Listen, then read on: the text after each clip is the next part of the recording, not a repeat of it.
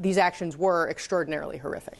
Netanyahu has a very good point. This is like ISIS. It's like when ISIS attacked Iraq in 2014, they took thousands of women and children prisoner. They sold them as sex slaves, and they did all sorts of other atrocious things against international law. And ISIS was condemned by the most of the world, and they were sanctioned, and that's what needs to happen with Hamas. Also, like ISIS, ISIS was in Mosul, which is a very crowded city in Iraq, and that was one of the last strongholds that we had to get them out of in Iraq, and it was street to street fighting as it will be in Gaza.